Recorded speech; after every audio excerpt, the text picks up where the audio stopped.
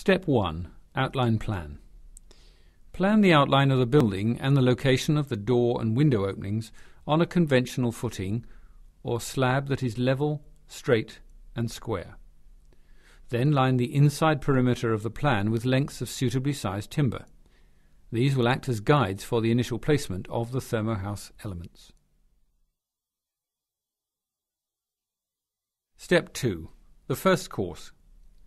Place corner blocks, TH17s, on each corner. Then lay the TH16 towards the centre of each wall segment. Install a TH17R for the enclosure at the location of each door.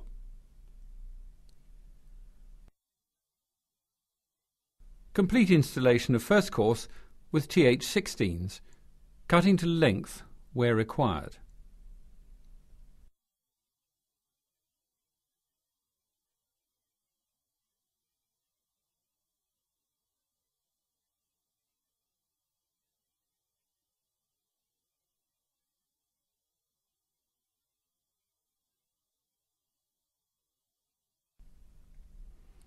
Install horizontal steel reinforcement where directed by placing it on top of the internal webs within the block cavity. Step 3. The second course.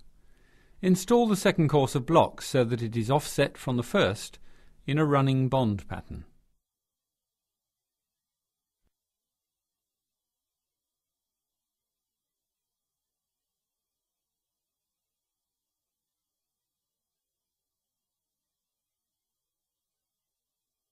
At this point, recheck for level across all of the blocks.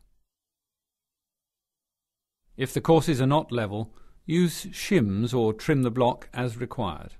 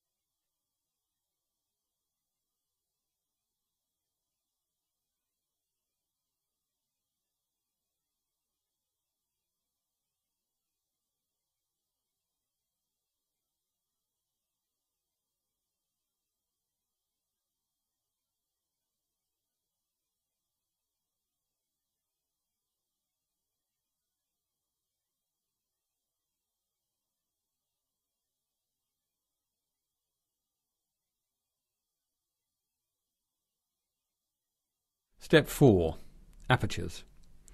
Use Thermohouse TH17R blocks at each location where doors and windows are required. Step 5. Additional courses. Install additional courses of block by continuing to overlap the courses so that all joints are locked above and below by overlapping blocks. Step 6. Alignment bracing. Remove guide timbers prior to installation of the alignment bracing. Install the alignment bracing around the entire wall of the structure to ensure that the walls are straight and plumb and to enable alignment adjustment before and during the pour.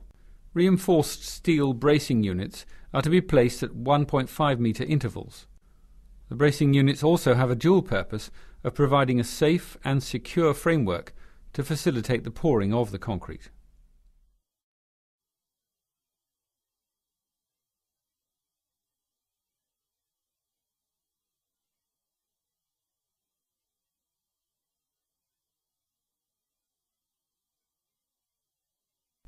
Place blocks to the full wall height of the single-story construction.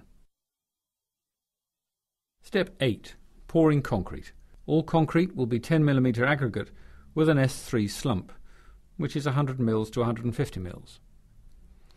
Start the pour at a corner and fill the wall to one third of full height around the entire perimeter. Continue pouring in one direction and return to the original point. Note that the concrete should be poured in three instalments for each floor. Use a slender concrete vibrator, maximum 25 mm diameter, to vibrate the mix, which will remove all air pockets within the wall and will obtain full compaction of the concrete.